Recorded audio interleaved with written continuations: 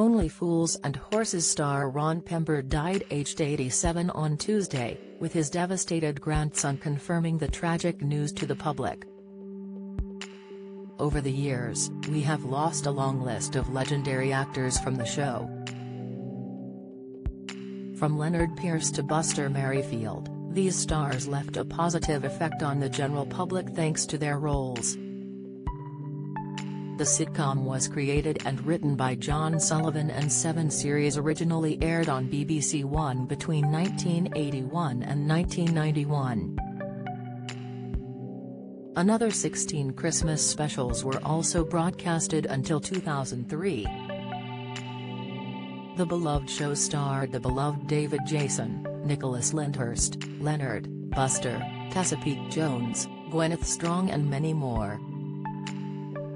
Since the airing of the first episode of the show, a number of stars have sadly passed away. Ron Pember It was confirmed that Ron Pember died on Tuesday and his grandson, Paul, shared the news online. Paying tribute to his 87-year-old grandfather, Paul penned, the sadness now is the happiness then. That's the deal. November 4, 1934 to 08. 03.2022 Hashtag Ron Pember Hashtag Grandad Following Paul's heartfelt post where he confirmed his grandfather's death, the official social media account for Only Fools and Horses reposted his tribute and celebrated Ron's life and incredible acting skills.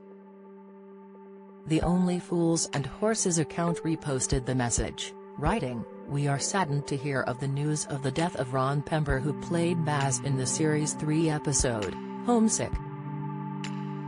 Our thoughts and warm wishes go to his family and friends.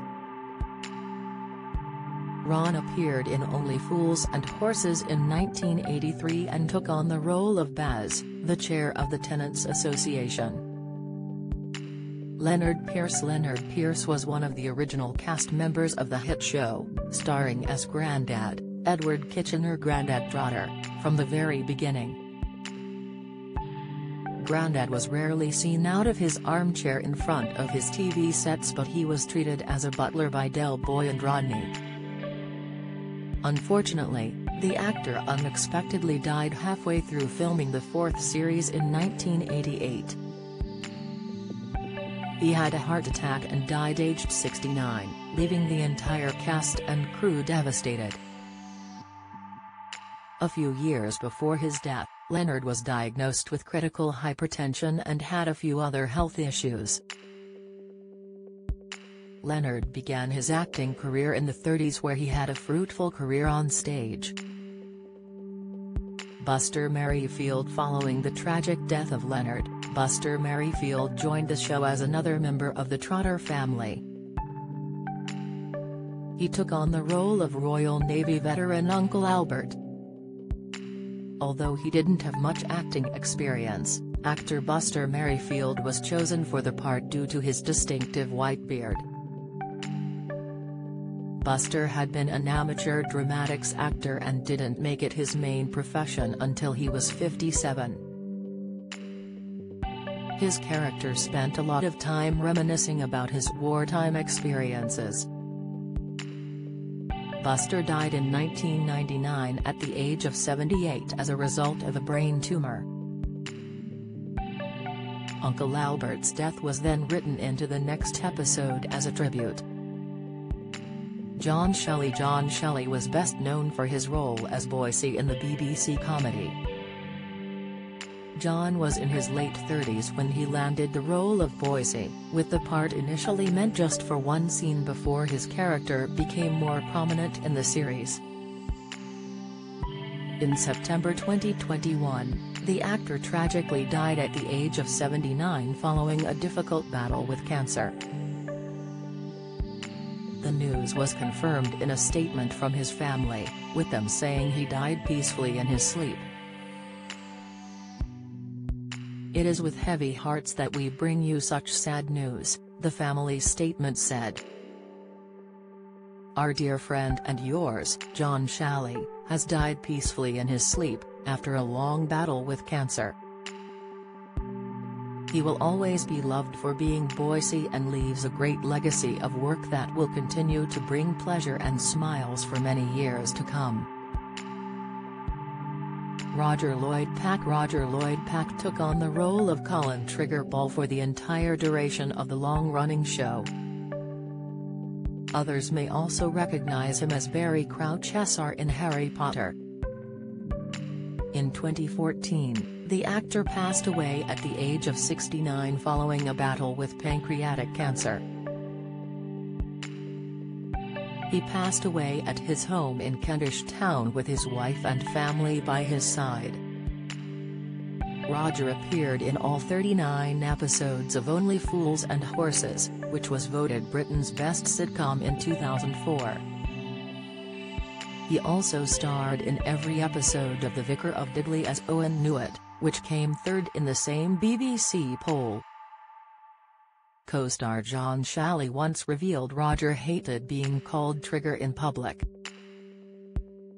He was always trying to live down the Trigger thing because people tended to think he was a bit dim.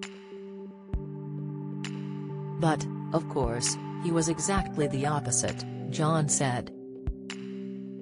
Roy Heather Roy Heather had a small role in the show as cafe owner Sid, but he was still a fan favorite. Other than Only Fools and Horses, he had parts in the likes of Poirot and My Family. He also had small roles in Edge of Darkness, The Legacy of Reginald Perrin, Birds of a Feather and The Green Green Grass. He tragically died in 2014 at the age of 79 from an unknown illness. Kenneth MacDonald Kenneth MacDonald was the long-suffering and dim-witted landlord, named Mike Fisher, of the Nag's Head in the show. The star unexpectedly died in 2001 when he was 50 years old. He was on holiday with his family in Hawaii when he suffered from a heart attack. On hearing of Kenneth's death, Only Fools and Horses star David Jason said, It is a terrible shock. It is like losing a member of the family because he was one of the warmest, kindest people that I have had the good fortune to meet in my career. John Sullivan John Sullivan was the writer for Only Fools and Horses. He also wrote Citizen Smith and Just Good Friends, and Rock and Chips. He died in 2011 at the age of 64 from viral pneumonia. John Sullivan, who was born in Balham, South London, in 1946, previously revealed his secret was that he wrote about things that he knew. He once described the character Rodney from Only Fools as a teeny bit me because he was also a bit of a naive dreamer as a teenager. And he said Del Boy was a combination of many characters he came across while working in the second-hand car trade in the 1970s. Do you have a story to sell? Get in touch with us at webcelebs mirror.co.uk or call us direct at 0207 29 33 033.